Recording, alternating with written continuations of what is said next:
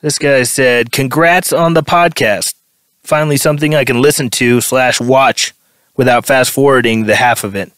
My question is, how do you start writing lyrics when the deadlines hit and you have to write?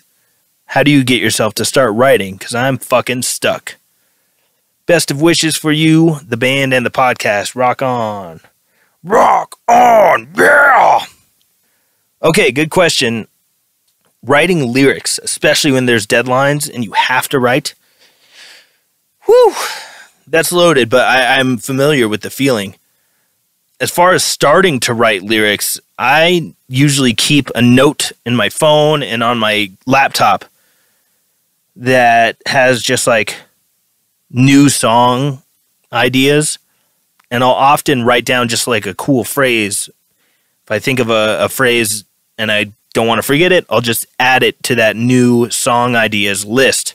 And it's basically just a brainstorm of a bunch of ideas that I feel like I can probably elaborate on later.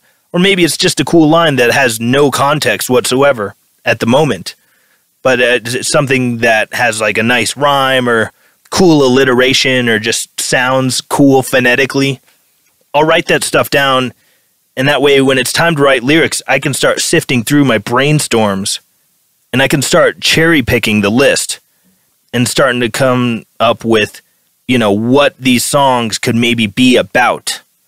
Sometimes I won't even write down a phrase that could be a song title or even a lyric in the song. It'll just be like a concept for what to write about, what to write a song about. And those are very helpful when it comes time to to writing lyrics, especially under tight deadlines and when you're, you know, in crunch time. Those can be incredibly helpful because maybe it's something you wrote down a year ago, but now you're a year later, you have more perspective. You look at the world in a different way. You might have more to say about that little little tiny brainstorm idea that you wrote down forever ago. So that's how I start writing lyrics. And when the deadline's hit and you have to write, uh, you say, How do you get yourself to start writing? that's really tough.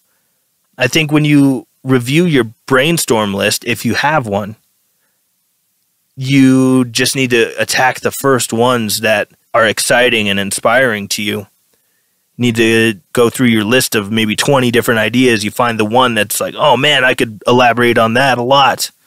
And just go after that one first.